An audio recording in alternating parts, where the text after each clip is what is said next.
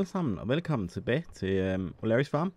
Jeg tror lige, vi starter med at give øh, Bob noget mad her. Vi sådan, jeg skal altså slå græs, det jeg kan jeg næsten ikke se, hvor han, øh, hans madskål er. Så fik Bob lige noget mad. Men ja, dagens program, det er jo... Øh, ja, jeg havde jo håbet på, at øh, jeg kunne tage jer med til det der møde, men, men det møde, det er simpelthen blevet øh, udskudt. Der var noget med nogen, der skulle øh, nå at ankomme og den slags, så derfor så... Øh, ja, måske bliver det næste vlog, det tror jeg måske, det gør. Øhm, så derfor så er vi nødt til at få lavet nogle andre ting i det her, øhm, den her vlog. Øh, som blandt andet at hente mig taskeren, fordi den har jeg jo sådan set egentlig bare ladt stå over på, øhm, ladt stå over på marken. Mm. Fordi det blev lidt, øh, det blev lidt sådan sent i går. Øhm, så den må vi hellere få hentet, og så få, øhm, og så få vasket. Øhm, og udover det, så øh, skal vi jo ned og have solgt noget, øh, noget uld. Der står lige en, øh, en enkelt palle. Og hesten og sådan noget har jeg fået klaret, så det kan jo sådan set egentlig være, at vi skulle øh, så småt gå i gang med at, øh, at harve, medmindre det kan klares på en, en rimelig øh, god tid, så kan det også være, at vi kan gøre det øh, færdigt i det her afsnit. Øh, jeg har nemlig været rigtig tidlig op, så jeg har besluttet mig for, at øh, jeg arbejder sådan til omkring klokken 12.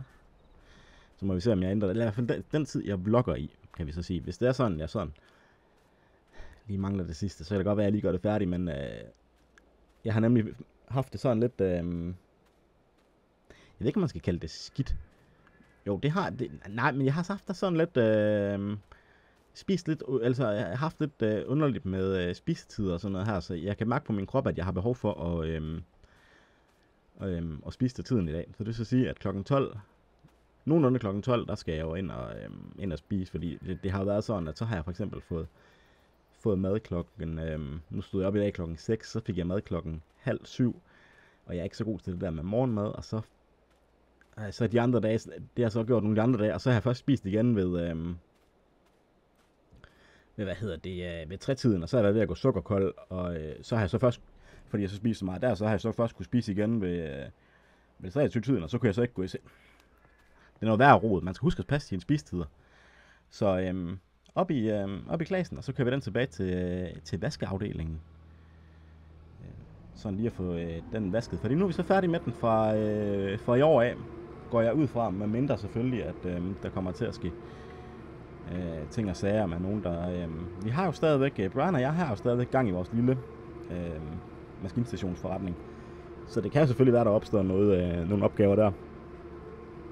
Men indtil videre har jeg ikke hørt noget, og, øhm, og ja, jeg tænker også umiddelbart, at det kommer an på, hvad der kommer til at ske i området, fordi at, øh, ja, jeg ved ikke mere end, at de har jo øh, kontaktet foderstoffen, der ligger lige herovre, øh, som man kan se herude i horisonten, og så har de jo så spurgt om, de via dem kunne få lov til at købe øh, min grund, og så er de jo så også til, nede hos, øh, hvad hedder det, øh, ja, har været nede ved, øh, ved oliefabrikken. Det vil så sige, at øh, vi venter i hvert fald lige med at få øh, forsøget, til vi har afholdt det møde der, fordi jeg tænker ikke umiddelbart, at øh, det, giver, det kunne man selvfølgelig godt, man kunne selvfølgelig godt satse, men jeg tænker, at der vil være andre afgrøder, der vil give mere mening og, øh, og så en lige, øh, en lige raps, hvis det nu forholder sig sådan at øh, det her øh, salg skulle gå i skulle gå i, øh, i orden. Hvad hedder det? Øh, mod min vilje. Så øh, der sker en masse ting, og derfor så må vi lige tage det hele med... Øh, vi, vi, vi tager lige lidt stille og roligt med det hele, men nu hvad skal vi i hvert fald den her, det tager vi det så ikke stille og roligt med, for det trænger den godt nok til, når den sådan har været øh, ude at blive brugt. Øh, Sådan der rundt i alle krogene. Den er godt nok meget beskidt deroppe. Øh, kan I se lige her? Under selve, jeg ved ikke, jeg ved ikke, hvad den hedder, men den her, sådan, øh, den rulle, der tager, det, jeg vil ikke sige, det er selve skærbroret, men jeg ved ikke, om der har et specielt navn, men, øh, men, men der var rigtig meget beskidt, og så lige herom. den fine, fine Dominator. Sådan der. Ja, ja, så er den vist fin nok til at kan komme over på, øh, på sin plads. Og så skal vi over og have solgt noget, øh, noget uld, selvom der går jo nok lidt tid. Jeg tror måske først, han, ja, han plejer først at åbne kl. 8. Men man kunne da selvfølgelig godt prøve at øh, snige sig over og se, om han øh, havde åbent tidligt, så vi kom videre med programmet. Øhm, det kunne også være, at jeg skulle prøve at høre ham, fordi nu har foderstoffen hernede på hjørnet jo. Og øh, oliefabrikken har jeg jo hørt noget. Så øh, det kunne jo godt være, at jeg skulle prøve at høre, om, øh, om uddeleren havde hørt noget, om der var nogen, der har prøvet at, øh, at købe hans, øh, hans udstyr også, eller hans, hans område. Det, det er jo godt nok øh, meget mystisk alt sammen, og man har jo set det tidligere, det der med, at øh, så beslutter man sig for, at der skal bygges, øh, at der skal bygges til, og, og sådan noget. Og, øh, og så køber man simpelthen øh, hele området. Men det kan jo være, at det bare er fordi, de vil øh, drive store landbrug her. Som, øh, det er jo faktisk en af de ser nede hos foderstoffen og sådan noget. Så det der, det er lidt sådan, det er ikke lige til at finde hoved og hale i det hele. Nu vil jeg nok lige have lov til at, øh, at sige. Men det kan selvfølgelig være, at det, øhm, det ændrer sig. Vi går lige ned og kigger til forerne. Fordi det kunne selvfølgelig være, hvis der nu var øh, to paller, så kunne man jo selvfølgelig tage traileren med derned og læse dem op på det. Så ville det jo egentlig være meget nemmere. Ej nej, der er kun, øh, der er kun til en palle der. Sådan, hvordan står det til med vand? Det har I fint, og øh, mad har de også, og så ja. Det eneste vi skal, det er, at vi skal simpelthen lige op og have hentet Forden og have spændt øh, øh, vægtklods på, og så have spændt frontlæsser på, og så skal vi øh, herned og have hentet øh, det. Sådan der. Vi starter lige med, med vægtklodsen, fordi at, øh, det lykkedes for mig den ene gang der, hvor jeg bakkede den over øh, vægtklodsen, men det var vist mere held end forstand, fordi dengang jeg så, det har jeg vist ikke engang sagt, men dengang jeg så skulle have den af igen, så kom jeg til at køre over den og alt muligt. Det var ikke så, det var ikke så godt, lad os sige det sådan. Øh, heldigvis så den er massiv beton, så det var jo nemt nok at lige få, øh, altså den kunne godt holde til det, men, men ja, ja, det var selvfølgelig ikke helt, det var ikke helt godt.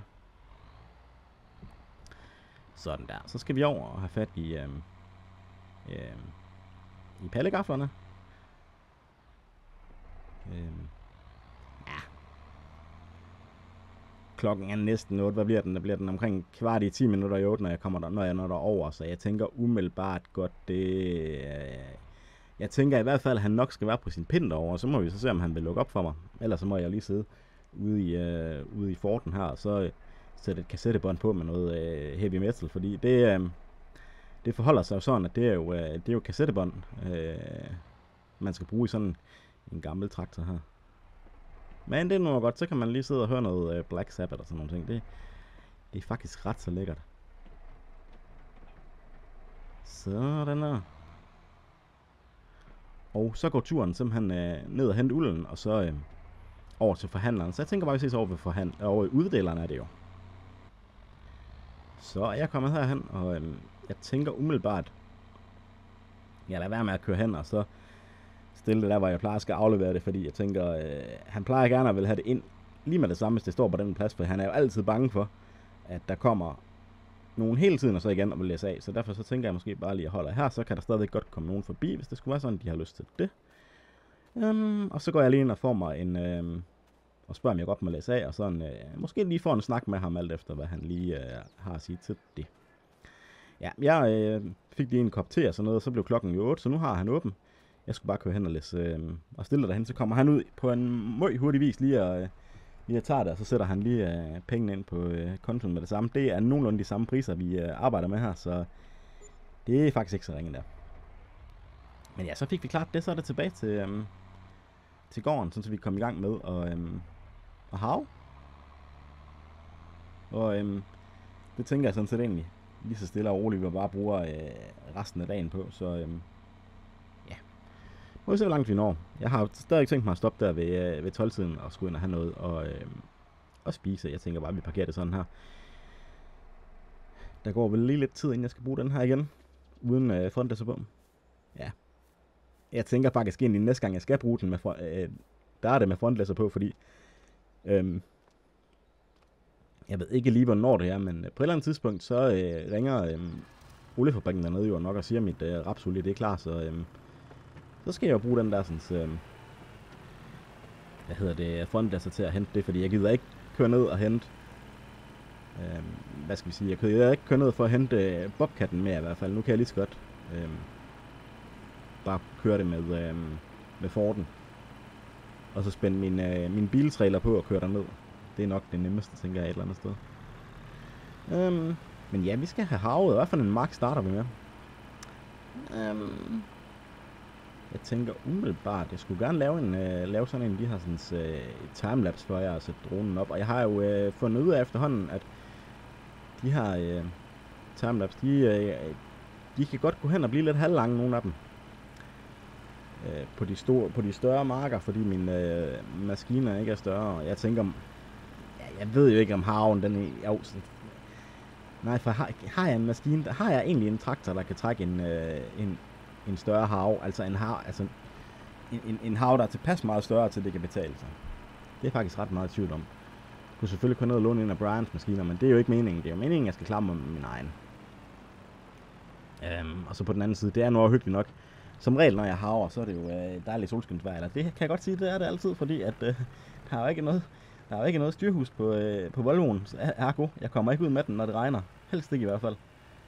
Øhm, så øhm, det er sådan, som det er. Men øh, ja, jeg tænker bare, at jeg vil gå i gang med at have, og så tænker jeg, at øh, jeg haver i... Øh,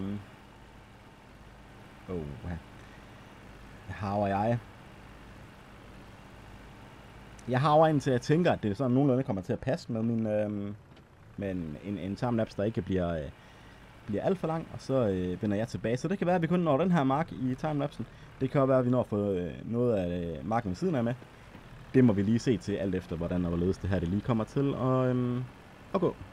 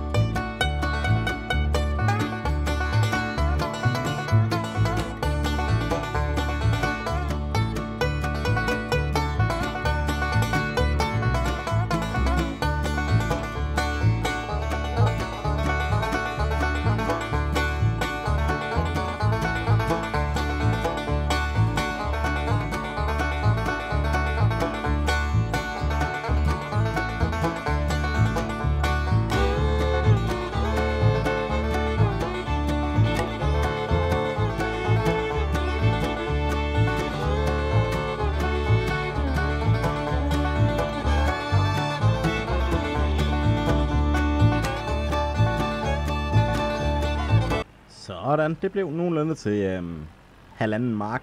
Så nogen, det kan godt være, at jeg lige kortet øh, timelapsen til, men jeg tænker i hvert fald, det er, lige præcis, det er sådan cirka her, at, øh, at jeg ramte det punkt, hvor den, blev, øh, hvor den var ved at blive for lang. Men ja, det hele er den øh, første mark, og så øh, en god bid af, øh, af den her mark.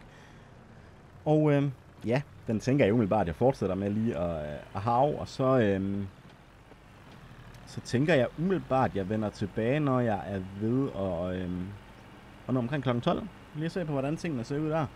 Om øhm, det er værd at fortsætte, eller, øhm, eller om vi simpelthen bare skal stoppe for i dag, eller hvordan er det Øhm, fordi det bliver jo meget havarbejde, men, men, øh, men det er jo det. På den her tid af året, så er det jo øh, meget havning, og så øh, på et eller andet tidspunkt, måske ikke næste gang, men øh, på et eller andet tidspunkt, så kommer der også en, øh, en del såning. Men igen, den venter vi nok lige med, til vi har fundet ud af, øh, hvad der skal ske. Sådan der, så er klokken øh, faktisk over øh, 12, så vidt jeg lige kan se på mit ur. Jeg ved ikke helt, om det passer egentlig, men, øh, men ja, jeg tænker lige, vi kører øh, den her forår er færdig. Sådan lige øh, rundt, og så når vi op til, øh, til lågen på toppen af bakken, så er det nemt lige at gå over. Øh, og så, øh, det er så ikke noget, jeg har trænet ham til, men øh, lige pludselig så dukkede øh, Bob op ude på marken. Øh, det ved jeg godt, han, øh, det har han det jo med at gøre. Øh, de andre gange, der har han så bare kunne gemme sig øh, i afgrøderne. Men øh, han blev siddende op og så han nærmest kigget på mig og ventede på, at jeg skulle komme over til ham. Og hvis han stadigvæk øh, er der. Det ser sådan ud. Og der er et rådyr, så, så, så ved jeg dermed ikke, hvor lang tid Bob han er der endnu der. Uha. Det kunne da godt... Øh, ja, det kunne da godt... Nej, han blev vist siddende. Ja, ja, prøv at se, han sidder ganske fint der. Som om han... Øh, ah, nu, nu rejste han sig op, men det var måske for at følge efter traktoren. Ej, nu, fik vi, nu har vi travlt med at holde øje med Bob, sådan, så vi lige øh, bakker lidt øh, tilbage. Vi skal have det hele med. Åh, oh, jeg ved ikke. Ja. Ja, jo. Et eller andet sted, så kunne jeg jo godt forestille mig, at øh, jeg ville blive lidt ked af det, hvis jeg gik ind og spiste nu. Og så er jeg kommet ud, og så manglede det her. Fordi meget kan man sige. Og det kunne faktisk... Det kunne faktisk egentlig godt være, at man skulle overveje at gøre noget ved det. Fordi at... Øh, jeg der også selv har, øh, har landbrug og sådan noget. Øh, I ved, hvor... Øh, hvor rart det kan være sådan øh, for afvekslingen, hvis ens marker ikke bare er firkantet. Øhm, og så øh, ved I også, hvor, hvor træls det kan være, øhm, hvis markerne har nogle, øh, nogle trælse øh, former, hvis man kan sige det sådan, fordi så er det så kræver det alt for meget energi. For eksempel her, der skal jeg bakke tilbage rigtig mange gange for at øh, forklare det her hjørne. Øhm, så derfor, jeg tænker lige, at vi gør det her hjørne, øh, eller spidsen herude færdig, inden, at, øh, inden jeg går ind og spiser. Men spørgsmålet var, når vi alligevel ikke ved, hvad der kommer til at ske, øh, om vi så skulle tage en... Øh, eller jo, jeg ved godt, hvad der kommer til at ske, for jeg kommer ikke til at sælge, det kan jeg godt sige. Øh, men, øh, men når vi ikke ved, hvad der kommer til at ske sådan rent øh, afgrødsmæssigt, øh, om det så egentlig kunne være en, øh, en rimelig god idé at, øhm, og så få øhm, slået græs herop, ikke på hele marken, men bare lige sådan, øh, bare lige sådan spidsen her, sådan så at, øh, den, den del af marken, der så kommer til at være øh, afgrøder på, den egentlig bliver, øh, bliver mere lige. Øhm, det kunne man måske egentlig godt overveje. Altså, så skal vi selvfølgelig ikke køre, vi skal ikke køre helt herud til, hvor vi er nu. Vi skal holde os sådan, så det er en, øh, en lige linje det kunne jeg faktisk godt finde på at øh, overveje, og så bare have, øh, have det areal her. Det er jo meget moderne nu om dagen, og, øh, at have arealer tilegnet, hvad hedder det, øh, biodiversitet. Og øh, det er jo alligevel så lidt, øh, det er jo alligevel så lidt, så lidt jeg får for det her stykke, vi kan se. Åh, oh, hej Bob skal vi hjem og spise noget med. Øhm, men ja, det er jo alligevel så lidt, vi, vi, vi får for det her stykke af marken, vi kan se her.